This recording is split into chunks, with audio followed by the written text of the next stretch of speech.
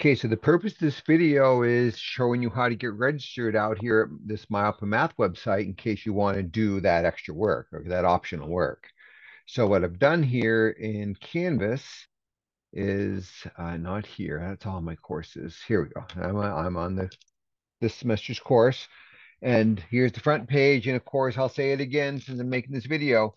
Uh, please, if you need some help, this list is the calendar you can grab some time with me and then we'll zoom and it's great. And sometimes you know 10 20 minutes live is worth two hours trying to figure it out on your own. So so so i'm here to i'm here use me you want to. Uh last this fall or this summer last summer not many people did. So i think had one student that joined me for two three weeks and then went on their merry way and and and they did well in the course. So I had 10 people didn't do well that never asked me for help. So don't be one of those people. Okay. I'm here to help. I want to help you.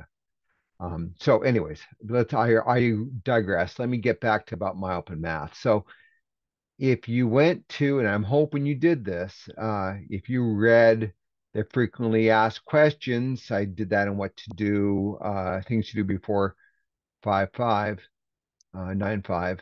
I had this, and on this page, I said registering out at my open math. And as I said, this is optional. You do not have to do this. It's free. It doesn't cost you anything. Um, it's a supplement for the WebAssign work and the textbook.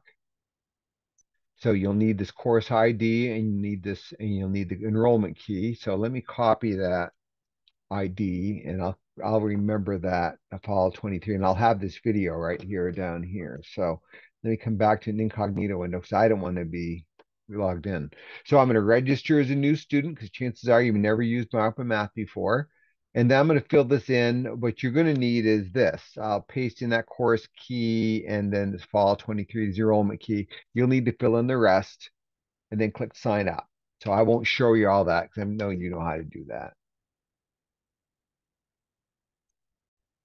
Okay, so I believe I got some information put in here. I'm to click, I've got the course ID enrollment key.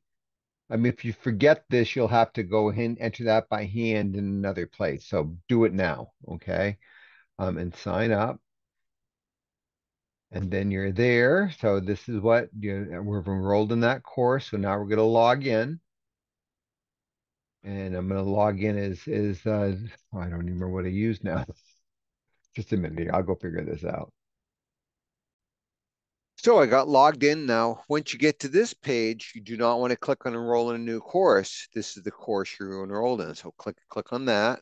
And then here's what you can do. Now, this is all work that's due for exam one. You do not have to get it done during week one. You do have to get it done before week four when exam when exam one starts. So you if you want to do part of it this week and then do part of it next week and some like, but best best practice is do it as we go. So you could do these two things week one, do that week three, week two, do that one week two, and then there's there's the week three one, chapter three.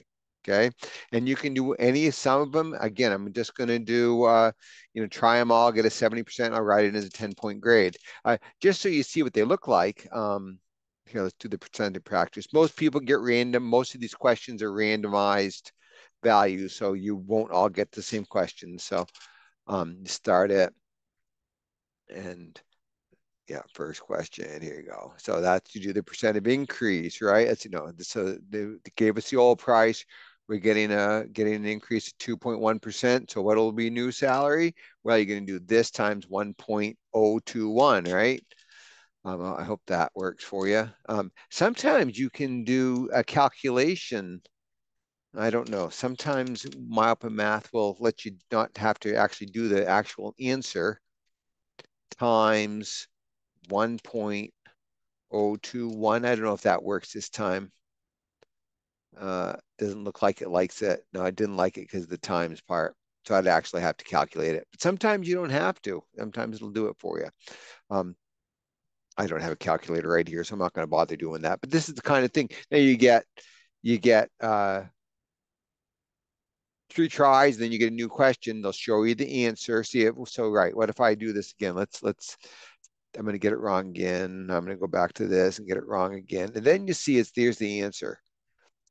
Um, and then at any point in time, you can get a similar question and start with brand new values, get full credit. Okay, but that's totally up to you what you do. And, and as I said, you know, you can do try them all, get us get us at least to 70% and you get full credit.